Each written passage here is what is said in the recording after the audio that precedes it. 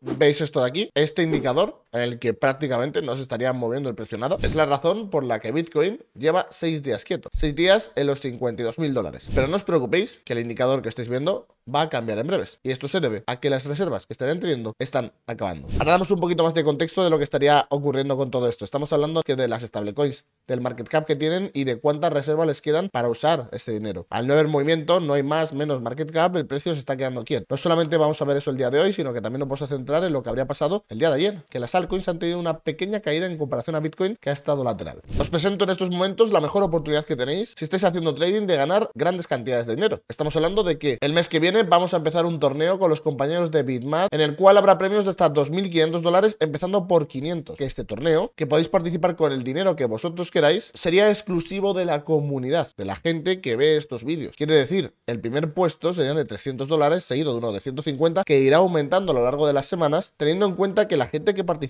sois pocos. La gente que me veis, acabo metiendo en estos enlaces, sois 100, 150 personas, 50 como muchos. Si en las próximas semanas os salen unas muy buenas operaciones, podréis sumar incluso a vuestros profits de primeras y fácilmente 300 dólares e incluso hasta lo máximo que se puede llegar 1700 dólares. Tenéis justo abajo un enlace en la descripción que os lleva a este enlace, que no se os olvide registraros también con el link que tenéis abajo porque empezamos ya en este próximo mes de marzo. Con esto el día de hoy vamos a hablar ya de lo que nos interesa, vamos a hablar de Bitcoin y vamos a hablar de la SALC, porque el día de ayer tenían algún que otro movimiento, pero empecemos con el indicador que os quiero mostrar el día de hoy. Todos estamos viendo que Bitcoin en un gráfico diario lo hemos tenido relativamente quieto. No nos sorprenda muchos que después de tanto movimiento haya decidido que vaya a parar un poco. En estos momentos llevando ya 6 días de lateralizaciones de prácticamente unos 1.500 dólares. Una lateralización bastante cortita. En parte se debe a lo que veis por pantalla. Todos los movimientos que hemos tenido anteriores, las anteriores semanas, queramos o no, han sido porque en el mercado ha habido nueva liquidez. Hemos visto como desde el inicio de febrero la liquidez habría aumentado en miles de millones de dólares. Ahora estamos teniendo un momento de lateralización porque ni están quitando dinero, nadie estaría tomando una gran cantidad de beneficio a nivel de market cap de las stablecoins, pero sí que es verdad que empezamos a ver que tampoco, o al menos, estarían frenando estas impresiones de dinero, estas inyecciones de liquidez. Y con ello ahora mismo queda esta imagen por pantalla. La imagen que veis es simplemente una imagen sacada de la página de Arkham que se encargan de llevar un poquito las cuentas de cómo van todo on-chain. Y lo que podemos ver es las reservas que le queda a USDT en la red de Ethereum, una de las más importantes y de la que principalmente va moviendo liquidez junto con la de Tron. En estos momentos, ya después de 6 días en los que el market cap se habría quedado totalmente paralizado, solamente le quedan 90 millones para jugar con ellos. Hablábamos el viernes, si os acordáis, de que este número andaba por los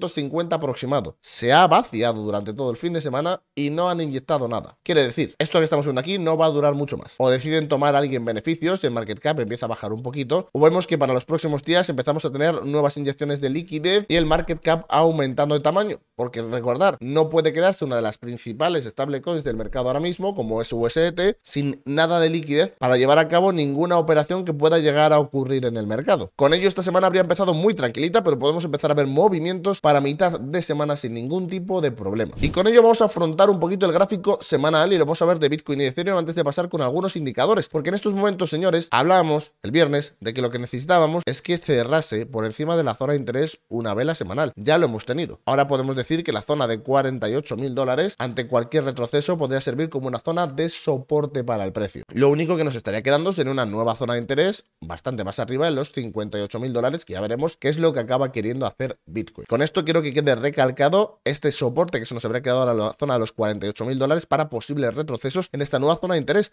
Y es que por parte de Ethereum hay más de una persona que me pidió un poquito el análisis. Vamos a hacer exactamente lo mismo. Vamos a ver un momento el gráfico semanal y ver qué es lo que estaría pasando, porque Ethereum tiene también dos zonas importantes, prácticamente al igual que Bitcoin. Tiene una zona aquí en los 2.650 dólares, que Ethereum en estos momentos ya lo habría superado, y por el otro lado la otra zona importante aún le quedaría bastante y no lo encontraríamos en los 3.100 dólares, 3.000 dólares, que como vemos la zona de interés aún quedaría bastante por la parte alta de cómo correspondería. En estos momentos Ethereum también habría cerrado su semana en positivo por encima de la zona de interés de la parte baja y podemos asimilar exactamente el mismo escenario que con Bitcoin. Tenemos una zona de soporte en los 2.600 dólares. Por ello, el día de hoy veíamos un pequeño repunte después del retroceso que estaba teniendo la dominancia de Bitcoin, como vemos ahora. Estamos empezando con un día de un aumento de la dominancia de medio punto, de medio porcentaje. Es que lo que había pasado es que mientras que Bitcoin ha estado, bueno, relativamente lateral, un 1% arriba, lo podemos ver ahora en un gráfico un poquito más de corto plazo, lo tenemos por aquí, las altcoins habrían tenido un retroceso relativamente profundo, sobre todo cuanta más apalancados iban en el mercado. Hablábamos el día de ayer del apalancamiento que estaba ocurriendo en el mercado, de ese funding rate tan exagerado que no podíamos permitir que existiese, que iban a hacer algo desde el apartado de los futuros.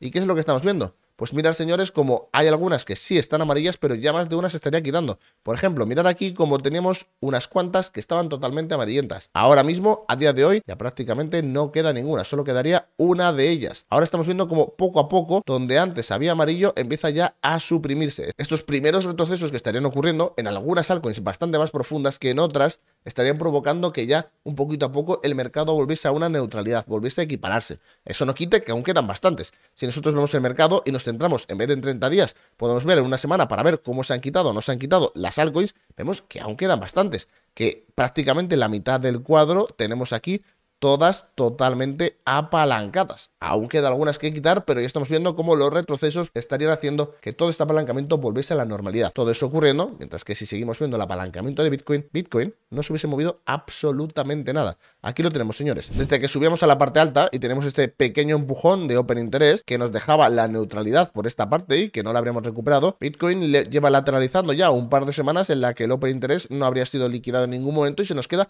por esta parte alta. Parece ser que está intentando encontrar una nueva neutralidad con más jugadores dentro del mercado, haciendo así entender que en estos momentos está entrando más gente a operar desde la parte de futuros y que a la que liquidan alguna persona vuelva a entrar más liquidez en el mercado. También, si nos quitamos un poquito de ver futuros, podemos observar cómo desde el spot no tenemos muchas novedades. No estaríamos teniendo unas divergencias muy altas, pero tampoco tenemos nada bueno. Vemos aquí como Bitcoin está prácticamente lateral, lo tendríamos en los 52.300, mientras que el spot por el otro lado empezamos a observar alguna pequeña y ligera divergencia bajista. Estos son ligeras divergencias, no estarían alarmándonos de nada, pero sí que nos empiezan a avisar que desde el spot se están relajando bastante. En parte por lo que hemos hablado al principio del vídeo. Aquí no está inyectándose nada. Si no viene liquidez nueva, nadie compra desde el spot y si nadie compra desde el spot acabamos teniendo estos indicadores creando esas pequeñitas divergencias bajistas. Con ello vamos a parar un segundo a mitad de vídeo y hacer un pequeño resumen de lo que estaría ocurriendo. Bitcoin lleva lateral una semana, teniendo unos movimientos entre 1.500 dólares, 52.700 a 51.200 aproximadamente, salvo algún mechazo. Esta lateralización que estamos teniendo va a durar poco, por una sola razón. Las reservas de USDT se están acabando, solamente quedan 90 millones y con ello necesitarán liquidez de alguna manera. O inyectan liquidez o por alguna razón alguien toma beneficios. Con ello empezaremos ya a ver movimientos por parte de Bitcoin, porque que USDT se sin liquidez no es nada bueno para el mercado. Las altcoins con los primeros retrocesos después de toda la subida que llevaban las anteriores semanas de un 7-8% dependiendo en qué altcoin te estés metiendo, empiezan ya a comportarse un poquito mejor en ese funding rate del que estábamos hablando. Con ello vamos a ir un poquito con las novedades, con ello vamos a ir con las novedades de qué es lo que habría ocurrido la semana pasada con los ETFs de Bitcoin, para entender un poquito hasta qué momento estaremos teniendo una gran inyección en el mercado. Ahora mismo por pantalla estamos viendo a nivel y a número de bitcoins las compras-ventas netas que se habría tenido dentro de los ETFs. Esto obviamente incluye a Grayscale. Y es que ya podemos observar como la semana pasada, señores, la semana 6 desde que salieron los ETFs de Bitcoin habría sido una semana extraordinaria, con unas compras netas de prácticamente 45.000 bitcoins. Desde luego, con Grayscale habiendo ya parado de vender prácticamente 1000, 2000 bitcoins que vende nada más y nada menos, habrá que ver si esta semana, esta semana 7, desde que salen los ETFs, es igual de positiva que la anterior. Por ahora, los datos preliminares que nos enseñan es que no tiene pinta de ser así. Va a parecer una semana más normalita. Como estamos viendo, la liquidez totalmente lateral y no estamos viendo ningún tipo de inyección de dinero ni en Coinbase ni en Coinbase Prime. Aunque sí es verdad que si quitamos a Grayscale de mapa y hablábamos de que la semana pasada habíamos tenido 45.000 bitcoins que se habrían llevado netos. Si quitamos a Grayscale y solamente hablamos de compras de bitcoins, estamos hablando de que ya se habrían superado los 250.000 bitcoins, llegando en estos momentos a los 260.000 bitcoins holdeados por los ETFs de spot. Con ello es momento de actualizar los indicadores premium para que toméis las mejores decisiones en el mercado. Empezando rápidamente por el mapa de calor más los deltas de bitcoin, que podemos observar que no tenemos ninguna novedad. Al igual que bitcoin está lateral, aquí también estamos. Tenemos la barrera de la que habíamos hablado por la zona de los 52 2.700 dólares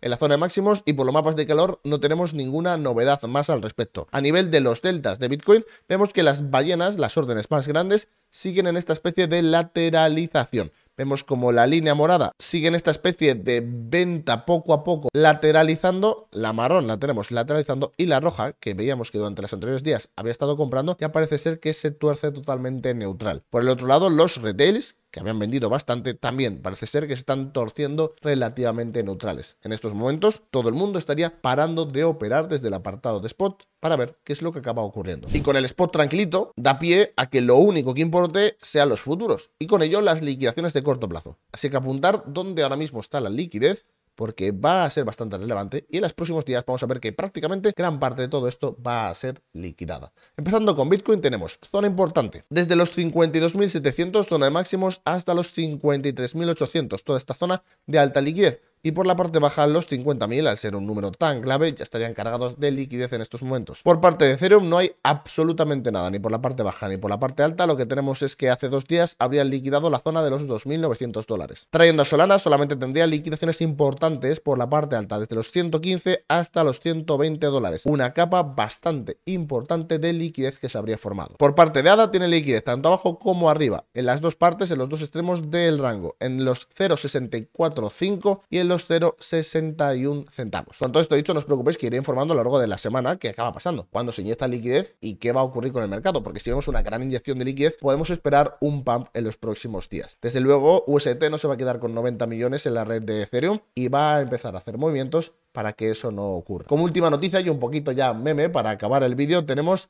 la primera foto policial que se está viendo de Sam de SBF del CEO de FTX que ahora mismo ya estaría en la cárcel. Esta es una de sus fotos policiales con sus compañeros de celda que la verdad tiene muy buena pinta de que se lo está pasando muy bien. Al final algunas de las personas encargadas de hacer todo el desastre que vimos por parte de FTX están siendo encarceladas. No todas. Aún no sabemos por ejemplo nada de su mano derecha, Sandra Buco, que habría desaparecido del mapa y nadie sabe absolutamente nada de él no está detenido y está totalmente desaparecido en todos los países. Por ahora, empezamos a ver algo de justicia y a ver cuándo la gente que perdió dinero en FTX acaba recuperando su dinero. Con todo esto dicho, chicos, espero que os haya gustado el vídeo. Dejadme cualquier sugerencia que tengáis abajo en los comentarios y nos vemos en la próxima. Hasta luego.